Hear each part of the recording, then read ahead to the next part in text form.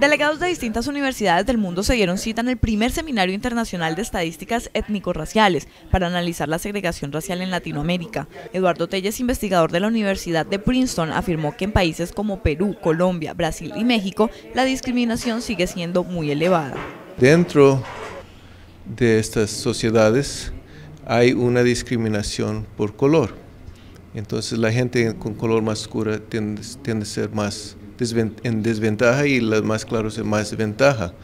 Y, um, y eso lo podemos ver aparte de la manera en que la gente se identifica. Alexander Castaño, investigador de comunidades indígenas, afirma que las estadísticas del gobierno nacional sobre los grupos étnicos de nuestro país son erróneas. Por eso las cifras que se entregan sobre la calidad de vida no revelan la situación real de cientos de familias que se encuentran en situación de vulnerabilidad es necesario aplicar metodologías distintas porque el tema de las desigualdades sociales así lo requiere. Entonces las metodologías convencionales con la, que, pues, que hemos utilizado para aproximarnos al fenómeno de las desigualdades en el país ya está un poquito mandado a recoger. Los indicadores de acceso a la salud y a la educación en los grupos afro e indígenas son los más negativos y esto se refleja en el mercado laboral.